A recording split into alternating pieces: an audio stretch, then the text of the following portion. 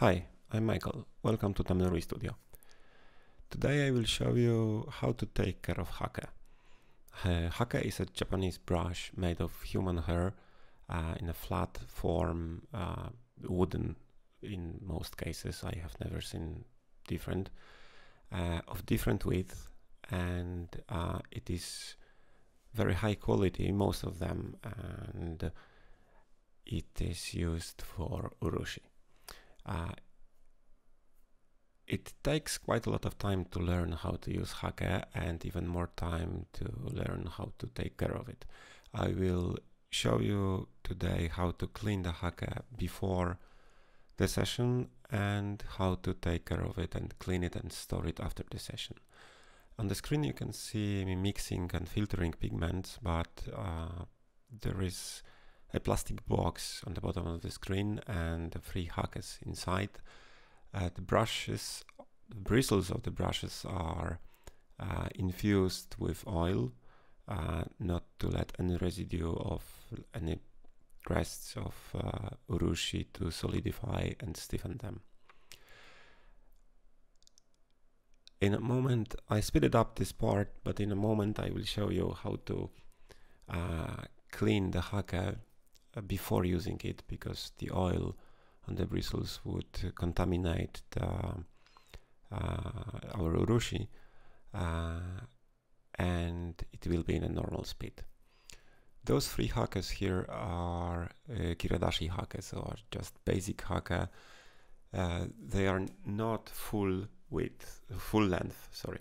Uh, they are not full length, so in the highest quality and the best and the most expensive hake, the hair are uh, very long, up to 24 centimeters long, and they are embedded in wood.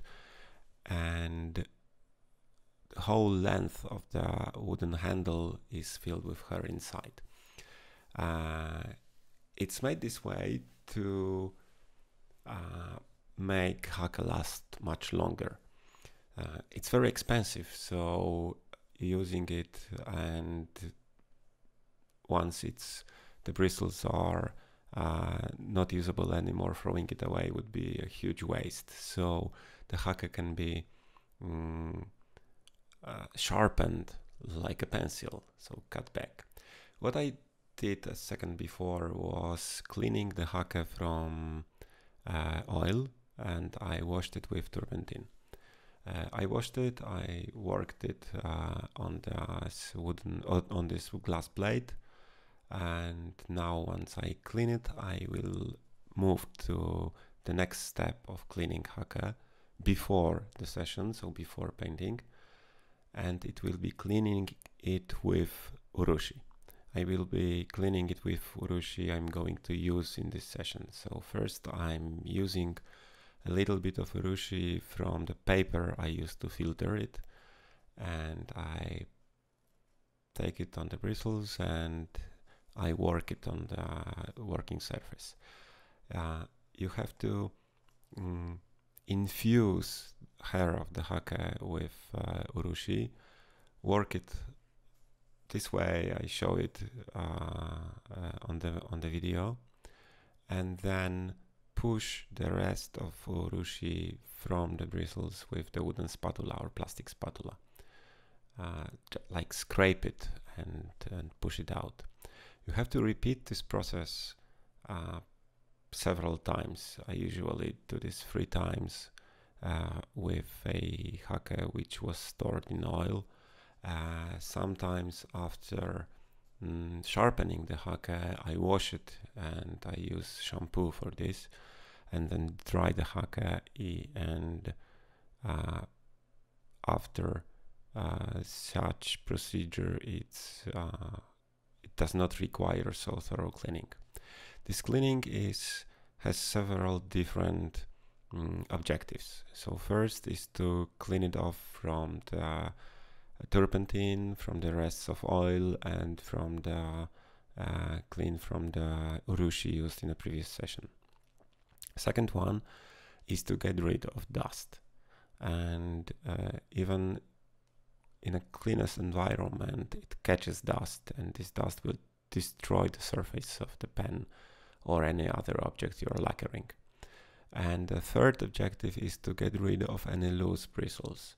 It's very high quality bristles, but still they can break or, or uh, split or something like that. So working it on a, on a surface and scraping it, scraping it with spatula cleans, uh, gets rid of any broken pieces of uh, bristle from the brush. Uh, now hake is ready for for painting and this part I will speed up either.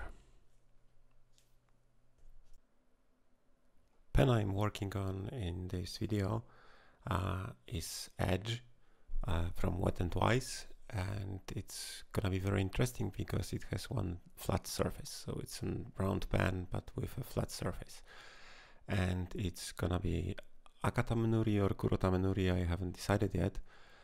And uh, it will be very nicely visible because all Tamenuri uh, lacquering Tamenuri technique shows uh, the most on the edges or any uh, any sharp uh, bends of the object it's lacquered. So where the Tamenuri layer, so the overcoat layer, which is uh, slightly transparent, shows through the base layer, which is in this case red.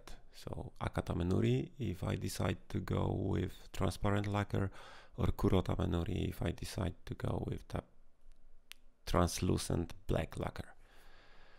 Uh, I've just lacquered uh, the body and the cup, now the section, and one more part I decided to make in this set is a small uh, pen holder or pen pillow made of ebonite and it will match this pen exactly. It will be, it's done parallelly to this pen so it will be exactly the same.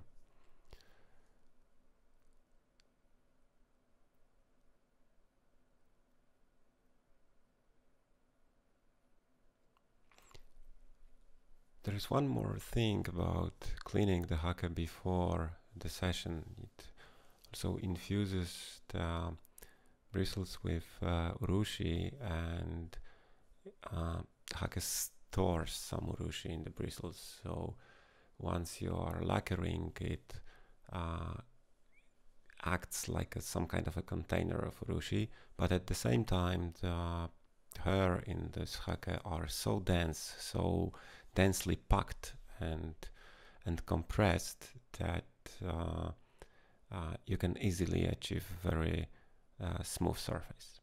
Now we are after the session. Usually I lacquer much more, but I wanted to show you how to do this. You have to clean the, the brush again. Uh, you clean the brush with oil.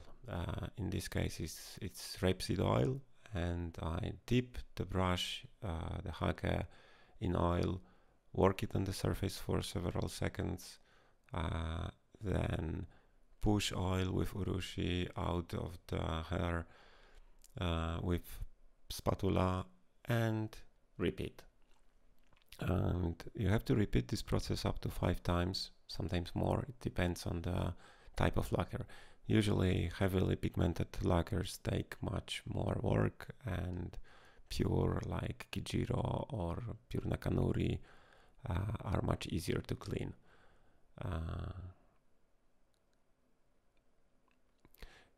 this process is uh, you have to use quite some force. You have to um, like pump the urushi from between the bristles and uh, not just swing it around, but also like push it slightly harder to uh, to pump it out, to to force it out.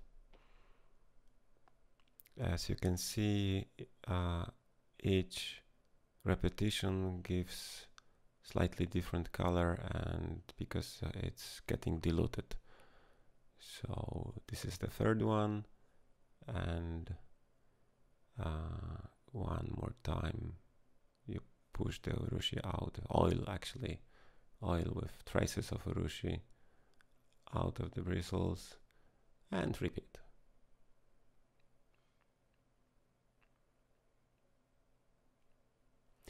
If you saw any Japanese artists working uh, on hake and with urushi, they can you can see that their mm, skills with wooden spatula are incredible.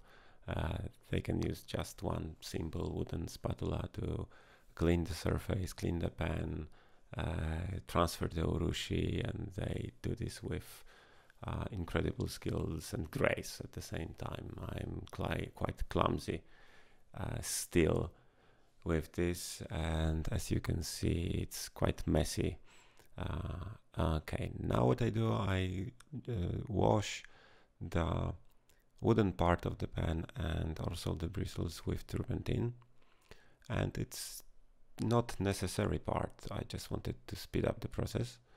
Uh, you could do this with oil, uh, rapeseed oil alone, uh, but you can also use turpentine. As you can see, I don't use gloves and I'm not allergic to urushi, but like 90% probability is that you are allergic, so never do this as I did it before. Once again, oil to infuse the bristles and to make sure that it's clean.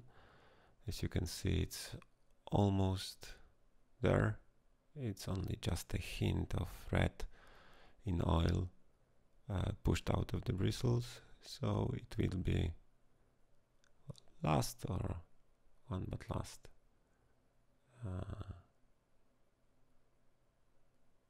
repetition of cleaning with oil and then I will just infuse the hair with oil and store it. Uh, I will put it in the oil container with those crocodile holders and to keep the bristles, the hair in oil but not touching the bottom because all the dirt uh, falls to the bottom of this uh, of this jar and I'm trying to show it, but it's not easy. Uh, and uh, the bristles are still infused with oil. It will stay like this for an hour or two or something like that, and then I will transfer it to this box. Uh, it's closed, so it's safe from any dirt or, or, or dust.